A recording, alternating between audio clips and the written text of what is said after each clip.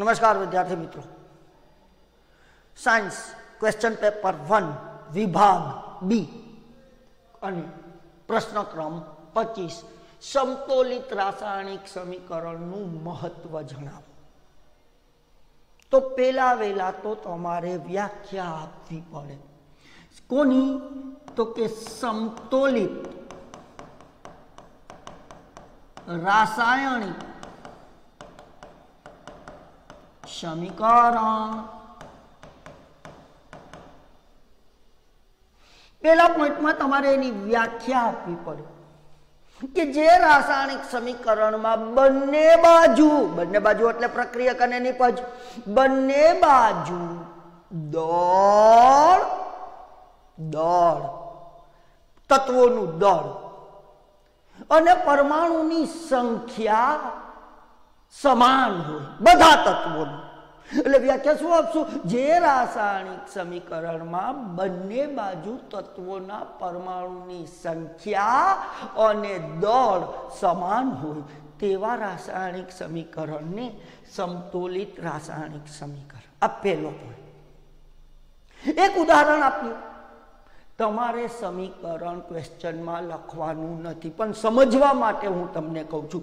જેમ કે આ આયર્ન ધાતુ છે એફી સોલિડ એની હું પાણીની વરાળ સાથે પ્રક્રિયા કરું. ગેસ તો તમને ખબર છે, બને છે F e three O four ferroso ferric oxide.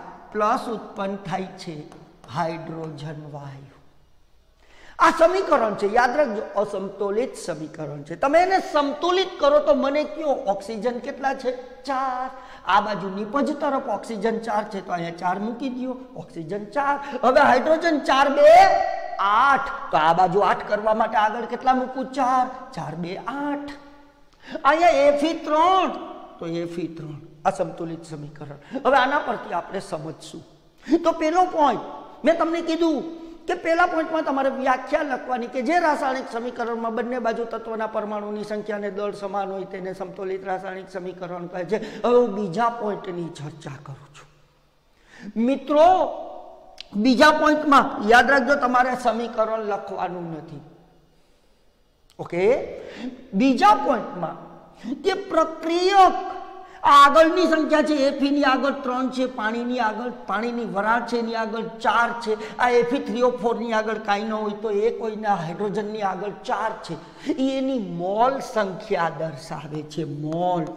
યાની કે રાસાયણિક સમીકરણ સમતોલિત રાસાયણિક સમીકરણ પરથી પ્રક્રિયકના કેટલા મોલ વપરાય છે અને નિપજના કેટલા મોલ ઉત્પન્ન થાય છે તે જાણી શકાય છે. તમે અહીંયા આ સમીકરણને આ રીતે અર્થઘટિત કરી શકો કે ત્રણ મોલ આયર્નની ચાર મોલ પાણીની વરાળ સાથે પ્રક્રિયા થાય છે. ત્યારે એક મોલ ફેરસોફેરિક એફી ફોર ઉત્પન્ન થાય છે ચાર મોલ હાઇડ્રોજન. આમ સમતુલિત રાસાયણિક સમીકરણ પરથી પ્રક્રિયકો અને નિપજોની મોલ સંખ્યા જાણી શકાય છે. ત્રીજું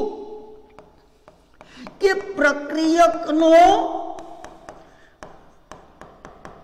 જથ્થો. સંતુલિત રાસાયણિક સમીકરણ પરથી પ્રક્રિયકનો કેટલો જથ્થો વપરાય છે અને નિપજનો કેટલો જથ્થો ઉત્પન્ન થાય છે તે જાણી શકાય છે. તમે જોઈ શકો છો, પ્રક્રિયકમાં કુલ ત્રણ ને ચાર, સાત મોલ પ્રક્રિયક વપરાણા. જ્યારે નિપજ એક ને ચાર પાંચ મોલ નિપજ ઉત્પન્ન થાય છે. આમ પહેલાં તો વ્યાખ્યા આપી દીધી. બીજા પોઈન્ટની અંદર તમે મોલ સંખ્યા જાણી શકાય છે કીધું ત્રીજા પોઈન્ટમાં તમે એમ કીધું કેટલો પ્રક્રિયક વપરાય છે અને નિપજનો કેટલો જથ્થો ઉત્પન્ન થાય છે તે કહી દીધું. અને સમતોલિત રાસાયણિક સમીકરણ પરથી પ્રક્રિયકો અને નિપજની ભૌતિક અવસ્થા જાણી શકાય છે. ભૌતિક અવસ્થા.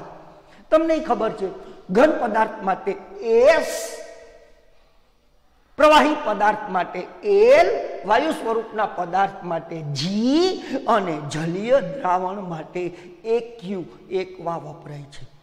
તો મિત્રો, આ થયો પ્રશ્ન. તો હવે પહેલેથી હું તમને કહી દઉં ફટાફટ. સમતોલિત રાસાયણિક સમીકરણની વ્યાખ્યા આપી દો કે જે રાસાયણિક સમીકરણમાં બંને બાજુ તત્વોના પરમાણુની સંખ્યા અને દળ સમાન હોય તેવા સમીકરણને સમતોલિત રાસાયણિક સમીકરણ કહે છે. બીજા પોઈન્ટ પરથી કહો કે સમતોલિત રાસાયણિક સમીકરણ પરથી પ્રક્રિયકો અને નિપજોની મોલ સંખ્યા જાણી શકાય છે. ત્રીજા પોઈન્ટમાં તમે કહી દો કે સમતોલિત રાસાયણિક સમીકરણ પરથી પ્રક્રિયકનો કેટલો જથ્થો વપરાય છે અને નિપજનો કેટલો જથ્થો ઉત્પન્ન થાય છે તે જાણી શકાય છે. અને ચોથો પોઈન્ટ કહી દો કે સમતોલિત રાસાયણિક સમીકરણ પરથી પ્રક્રિયકો અને નિપજની ભૌતિક અવસ્થા નક્કી કરી શકાય છે. યાદ રાખજો મિત્રો, સમીકરણ તમારે લખવાનું નથી. આ તો મેં તમને સમજાવવા માટે લખ્યું. તો આ હતો આપણો પચીસમો ક્વેશ્ચન આભાર.